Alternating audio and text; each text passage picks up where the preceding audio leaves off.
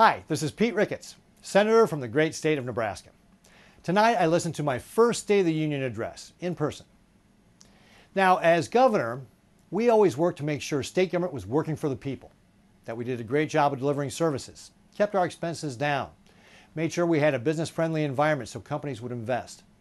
And all this would create jobs and opportunities for our families so they could enjoy the good life in our state. The Biden administration does not share that. They've got a bureaucracy that is run amok. They've got runaway spending that is driving high inflation, making it difficult for families to make ends meet.